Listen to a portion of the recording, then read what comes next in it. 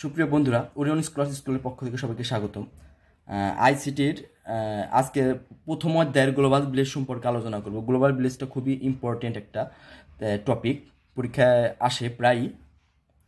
তো global village Bangla হচ্ছে বিশ্বগ্রাম। বিশ্বগ্রাম বা গ্লোবাল ভিলেজ হচ্ছে এমন একটি সামাজিক এবং সাংস্কৃতিক ব্যবস্থা, যার আনুষাঙ্গিক সকল কিছু ইন্টারনেট তথা যোগাযোগ প্রযুক্তির মধ্যে বিদ্যমান। গ্লোবাল ভিলেজ ধারণার প্রথম জন্ম দেন মার্শাল ম্যাকলুহান। তিনি সর্বপ্রথম গ্লোবাল ভিলেজ শব্দটি ধারণা দেন। তিনি পুরো বিশ্বকে একটি গ্রামের সাথে তুলনা করেছেন।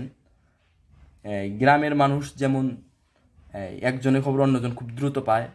এখন যোগাযোগ মাধ্যমের কারণে পুরো বিশ্বের এক প্রান্তের খবর অন্য প্রান্তে মুহূর্ত মুহূর্তের মধ্যেই পাওয়া যাচ্ছে। এ কারণেই সমগ্র বিশ্বকে তিনি গ্লোবাল ভিলেজ বা বিশ্বগ্রাম মনে করেন। সেখান থেকেই গ্লোবাল ভিলেজ ধারণাটি এসেছে। বন্ধুরা, আজকের ভিডিওটি তোমাদের যদি ভালো লেগে থাকে, উপকার হয়ে থাকে, তাহলে প্লিজ প্লিজ আমাদের চ্যানেলটি সাবস্ক্রাইব করো।